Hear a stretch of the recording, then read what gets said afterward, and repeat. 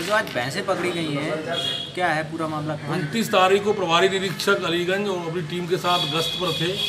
तो ईदगाह के पास में जो है ये भैंस वाले जा रहे थे, उन्होंने उसको रोका। रोकने पर दो लोग जो है, जिसने छोटे सनोब रशीद और अखिलेश अपना नाम बताया, पूछने पता चला कि जो है ये चोरी की भैंस निकली। और पुलिस अपने उनको कब्जे में लेकर के और कार्रवाई कर